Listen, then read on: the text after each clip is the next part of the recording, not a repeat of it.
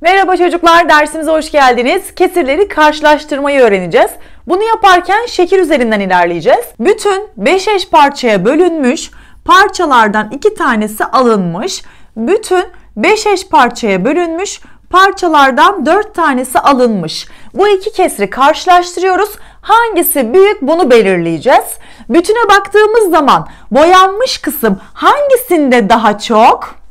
Harikasınız. 5'te 4 kesirinde boyanmış kısım daha çok. Bu durumda büyük olan kesiri bulduk. Bütün 9 eş parçaya bölünüp 6 tanesi alınmış. Bütün 9 eş parçaya bölünüp 3 tanesi alınmış. Peki bu iki kesirden hangisi büyük? Boyanmış kısma bakıyoruz. Hangisi daha çok? Harikasınız. 9'da 6 kesri 9'da 3 kesrinden büyüktür. Bütün 6 eş parçaya bölünüp bir parçası alınmış. Bütün 4 eş parçaya bölünüp bir parçası alınmış. Peki bu kesirlerden hangisi büyük?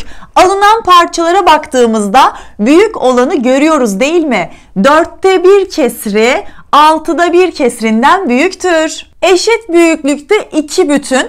Birincisi 5 eş parçaya bölünmüş parçalardan bir tanesi alınmış. İkincisi 8 eş parçaya bölünmüş. Parçalardan bir tanesi alınmış. Hangi kesir daha büyük bunu belirleyeceğiz.